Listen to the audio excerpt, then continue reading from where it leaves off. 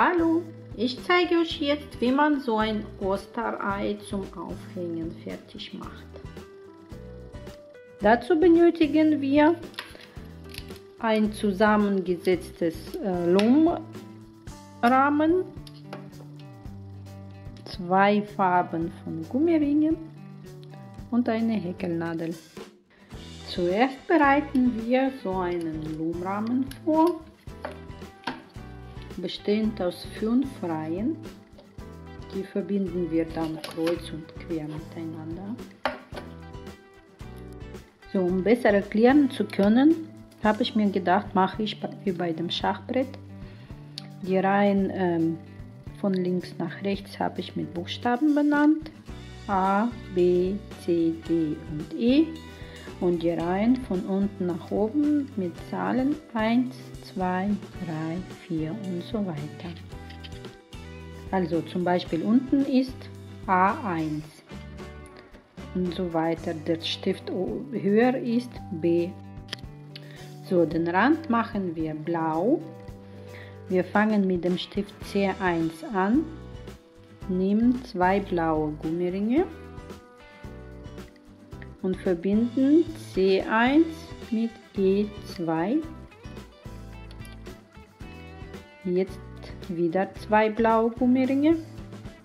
Für den Rand benutzen wir immer doppelt die Gummiringe und verbinden damit D2 mit E3. Wieder zwei Gummiringe. E3 mit E4. Wieder zwei Gummiringe. E4 mit E5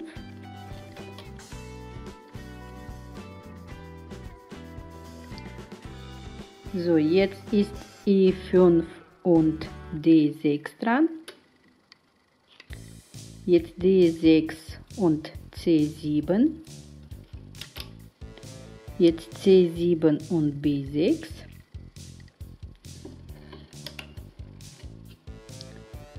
B6 und A5.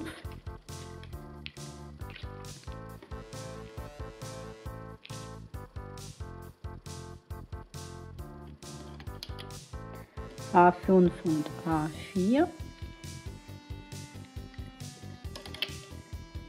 A4 und A3.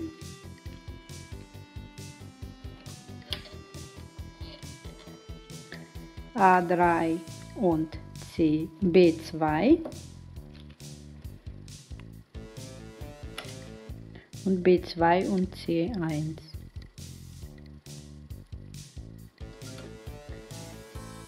So, den Rand haben wir jetzt fertig. Jetzt müssen wir Innenteil von dem Ei machen. Jetzt machen wir das Innenteil.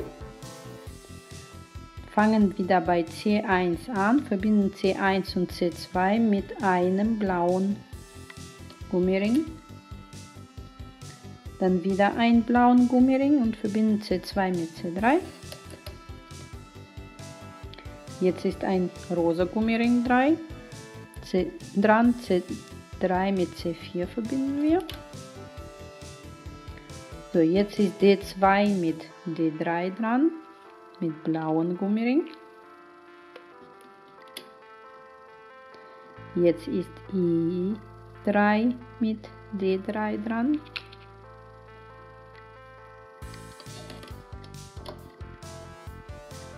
Jetzt ist wieder rosa dran. Verbinden wir mit der Mitte. C4 ist immer die Mitte. Das wird die Mitte der Blume sein. Verbinden wir wieder D3 mit C4. Wir verbinden immer im Uhrzeigersinn und gegen die Mitte.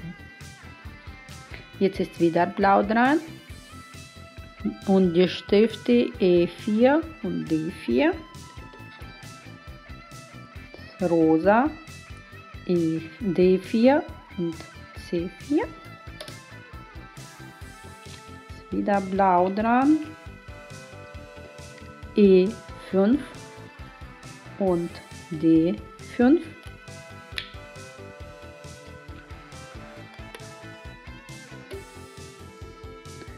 Und jetzt ist D5 und D6 dran mit blauen Gummiring und mit rosa Gummiring C4 und D5.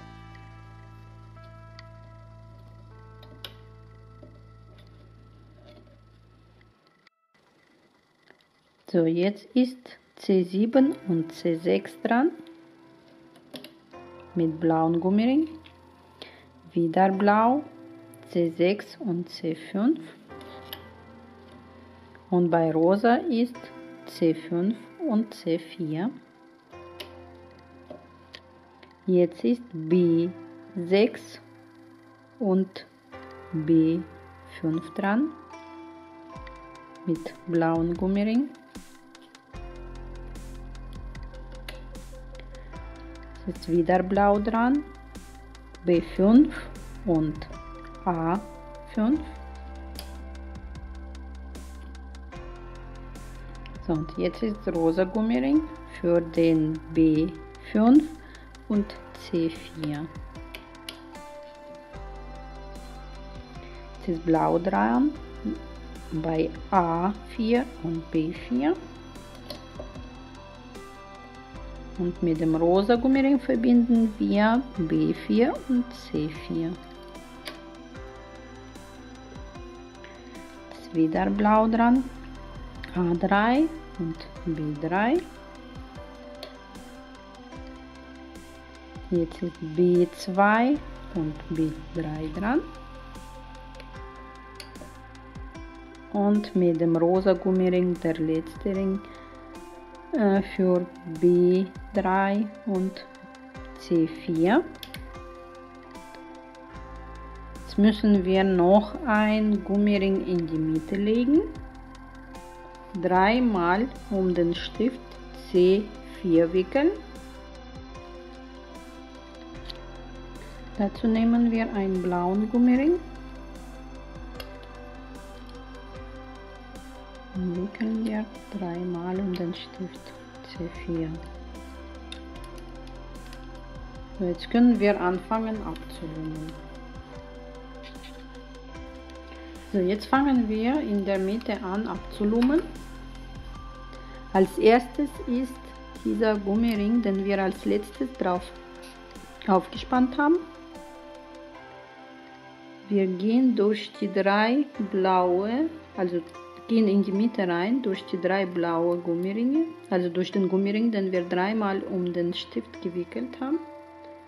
Nehmen den rosa Gummiring, ziehen den um den Stift herum und legen den auf den Stift B3. Also wir legen den Gummiring immer auf den Stift, woher der, Stift, der, der Gummiring kommt. Jetzt nehmen wir diesen Gummiring und legen den auf diesen Stift durch die Mitte rein bei dem B3.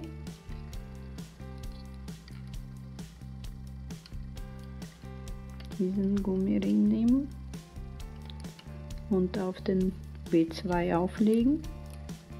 Das ist dieser Gummiring dran.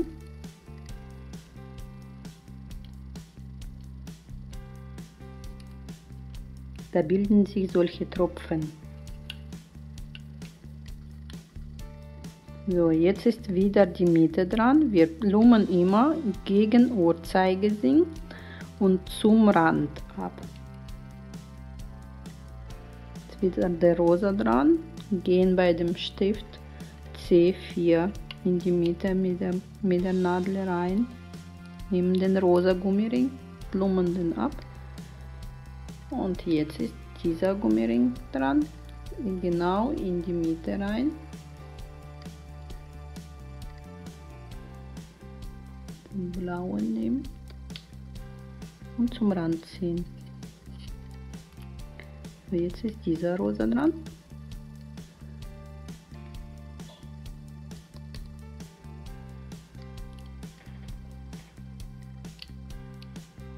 Der blaue dran.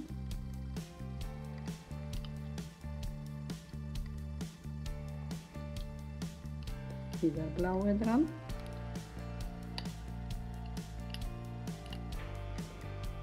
Jetzt haben wir das am Rand abgelegt. Jetzt ist wieder die Mitte dran. Jetzt ist dieser Ring dran.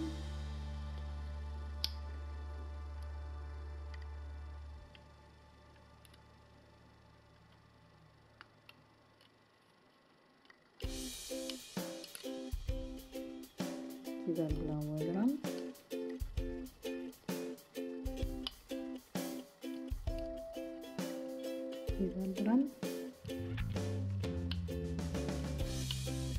lummen wir wieder den nächsten rosa Gummiring ab, von der Mitte aus.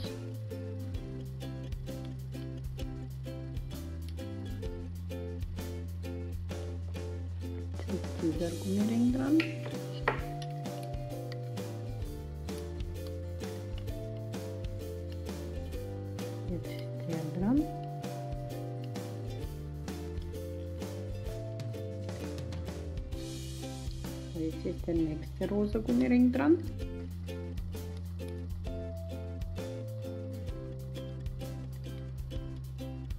Jetzt ist dieser blaue dran.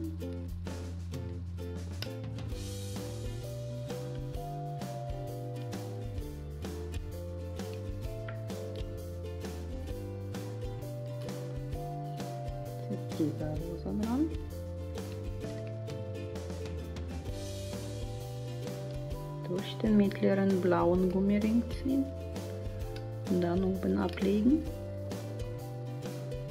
Ziehen wir den ab.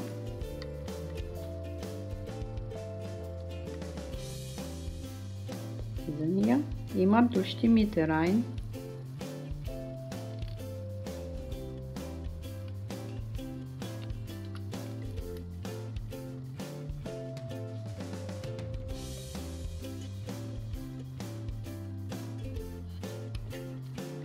Die letzte Reihe dran, jetzt ist dieser rosa dran.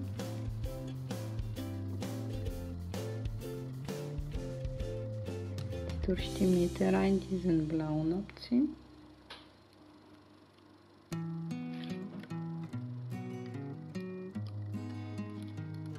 Und jetzt diesen blauen.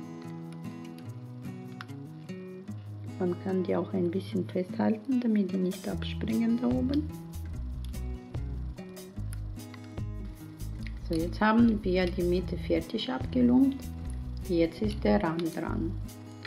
Der war doppelt, das heißt, wir müssen auch doppelte rausziehen. Als erstes wickeln wir wieder einen Gummiring, einen blauen Gummiring dreimal auf den Stift C1.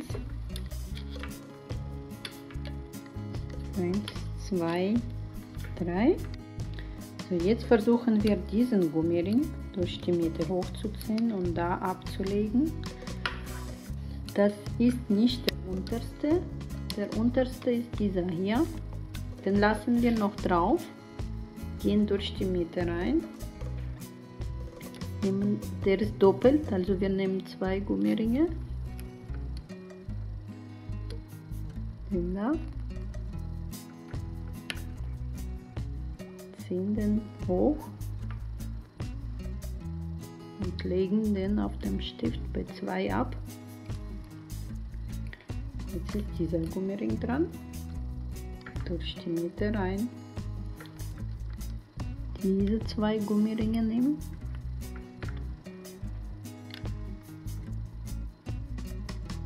und auf dem nächsten Stift vom Rand ablegen.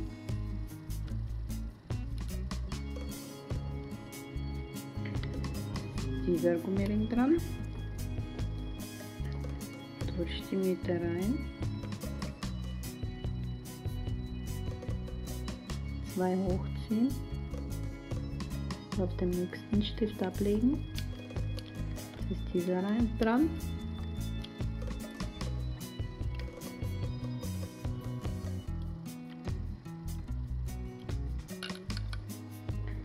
ist dieser Rand dran.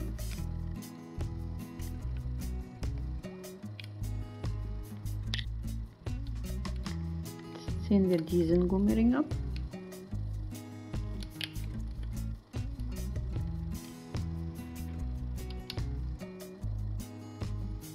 Jetzt drehe ich das mal um, damit ihr besser sehen könnt.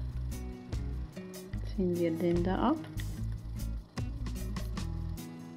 Also einen nach dem anderen gegen den Uhrzeigersinn auf den nächsten Stift dann auflegen.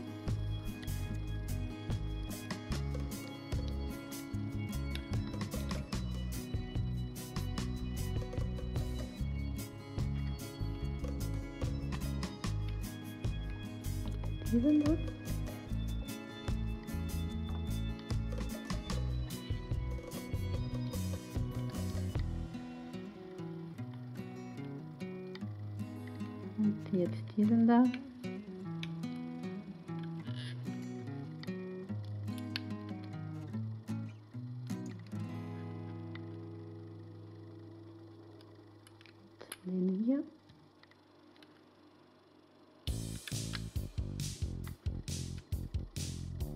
Jetzt ist der letzte dran. Dieser Gummiring. Die sind immer doppelt, immer zwei hochziehen.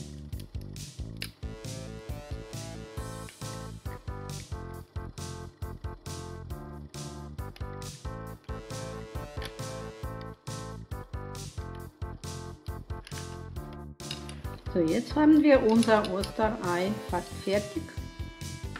Müssen nur noch Henkel machen, damit wir das irgendwo aufhängen können. Wenn er das nicht braucht, dann könnt ihr das jetzt schon abschließen.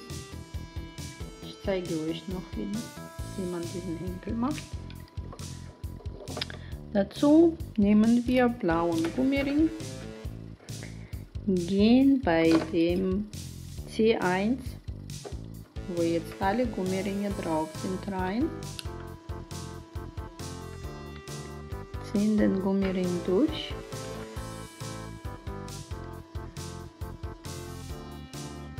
Komplett durch die Mitte. Dann sind im Prinzip alle Gummiringe so miteinander verbunden. Legen die andere Seite auf die Nadel drauf. Wenn ihr den Henkel nicht braucht, dann müsst ihr das nur so festziehen.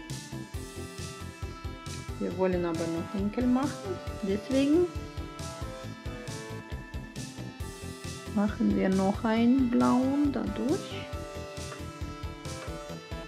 Machen wir abwechselnd jetzt blau und rosa. Die Länge, die wir brauchen.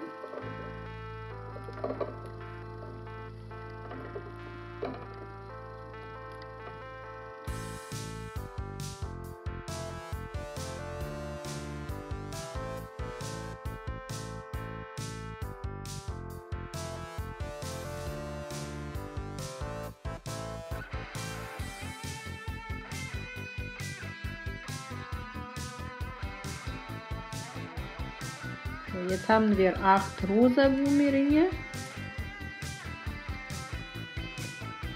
durchgenommen. Jetzt am Ende machen wir wieder zwei blaue.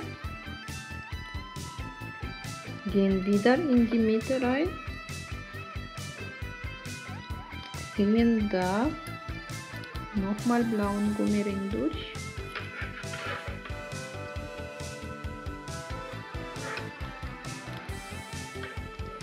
Dann ziehen wir die linke Schlinge durch hier zu befestigen. Dann ziehen wir den durch die zwei Schlingen. Und jetzt ziehen wir diese Schlinge durch diese.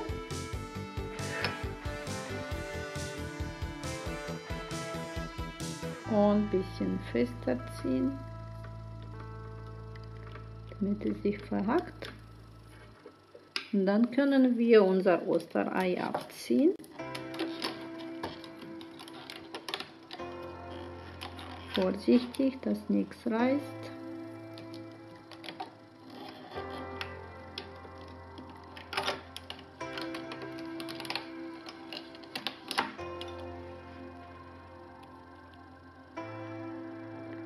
So, jetzt ziehen wir das Ei noch ein bisschen zurecht.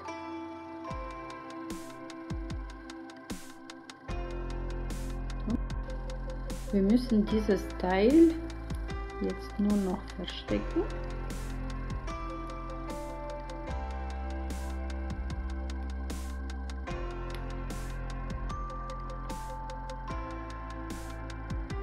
Dazu ziehen wir das paar Mal hin und her.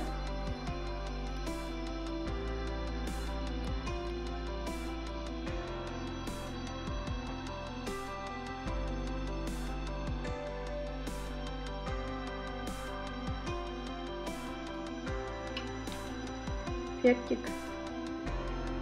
Ich wünsche euch viel Spaß beim Nachmachen.